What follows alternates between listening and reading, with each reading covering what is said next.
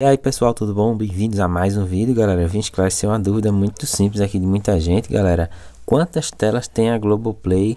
A Globoplay, ela atualizou aí o seu portfólio aí de produtos. Antes era cinco telas, agora mudou, galera. Agora tá mais simples. Veja só, o plano simples aí que você paga R$19,90 ou R$22,90 mensais, ele tem até três telas. Você pode adicionar até dois familiares da mesma casa e aí fica três telas por um valor de R$ 22,90 se for no plano mensal ou R$ 19,90 se for no plano anual. Já os planos maiores aí que vem com canais ao vivo e outras coisas mais, você pode adicionar até quatro familiares da mesma família, ou seja, são cinco acessos simultâneos. Como nesse caso aqui, ó, Globoplay mais com canais ao vivo, são cinco telas para você assistir e dividir.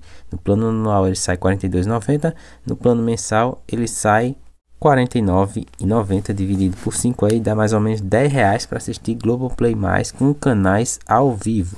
Lembrando que tem os outros planos maiores aqui que vem com Disney, tem com Premiere, tem vários outros planos. E todos esses planos maiores, galera, ele já vem com cinco telas, ok? Só o plano mais barato, que é o plano simples, que vem apenas com a Globoplay, que ele vem com três telas. Então, galera, espero que tenha esclarecido essa dúvida aí, bem simples, bem rápido o vídeo, mas bem esclarecedor para você que está com essa dúvida. Se você gostou do vídeo, deixa seu joinha. Se quiser saber mais novidades, se inscreve no canal e a gente se encontra no próximo vídeo com mais novidades.